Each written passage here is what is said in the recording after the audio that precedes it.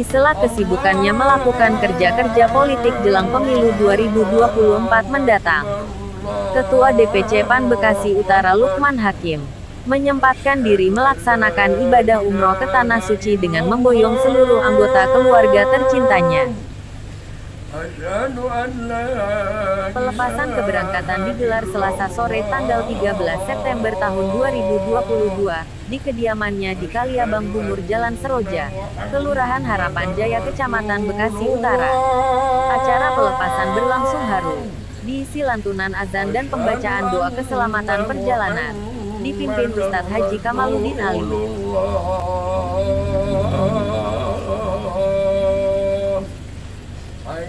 على الصلاة.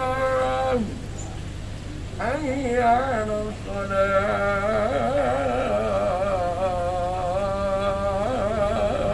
الصلاة. حي على الفلاح حي على الفلاح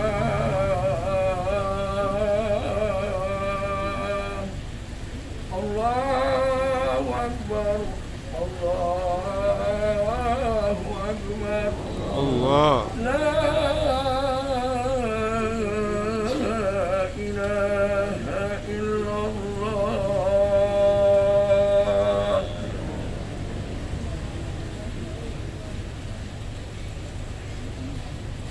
بسم الله الرحمن الرحيم.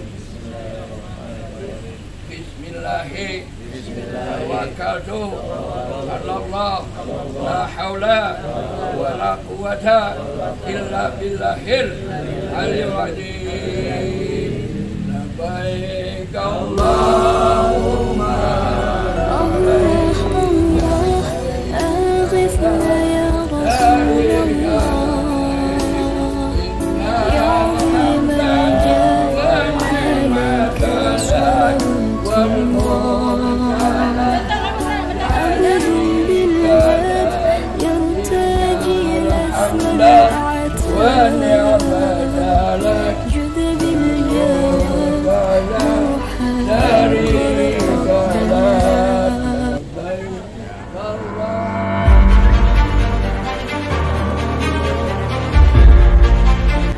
acara pelepasan di kediamannya, Ketua DPC PAN yang akrab disapa Bos Alex, langsung bergerak menuju Masjid Al-Ikhlas Kaliabang Rorotan, Kelurahan Kaliabang Tengah Kecamatan Bekasi Utara, untuk berkumpul bersama 33 jamaah umroh lainnya yang tergabung dalam rombongan umroh Majelis Taklim Al-Musnid pimpinan Kiai Haji Syaiful Islam Nur, yang berangkat bareng hari itu juga.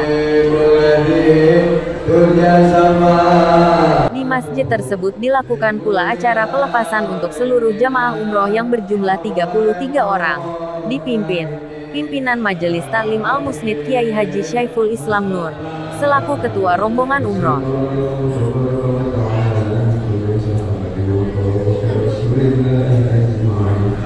الله الرحمن الرحيم الحمد لله رب العالمين حمدا يوفينا وهو يكافئ مزيدا يا ربنا لك الحمد كما ينبغي لجلالك الكريم والعزيز والكرام سبحانك لا نحصي Bapak-bapak, ibu-ibu, semuanya yang hadir dalam mendoakan pelepasan acara manasik dan perjalanan umroh pada sore hari ini. Sekali lagi saya mohon keikhlasannya untuk membacakan suratul Fatihah agar perjalanan kami semua pulang perginya diberikan keselamatan, diberikan kemudahan, diberikan keberkahan. Al-Fatihah biniyatis salahil qulub wal qalib wal usul ala kulli matalib bijai sayyidina Muhammadin sallallahu wasallam wa sayyidina Ali bin Abi Thalib wa kafatil al-tayyib wa ashabil manakib bisiril Fatihah. Abdulikul mawjud Kami mohon kepadamu ya Allah Berikan kekuatan kepada kami semuanya ya Allah Untuk beribadah Untuk menjalankan perintahmu ya Allah Untuk sujud kepadamu ya Allah Untuk membaca Al-Quran Untuk berselawat Untuk menjalankan manasik umrah Berikan kekuatan kepada kami ya Allah. Berikan kekuatan kepada kami ya Allah. Karena yang maha kuat Engkau ya Allah. Yang maha kuasa Engkau ya Allah. Kami tidak bisa apa-apa.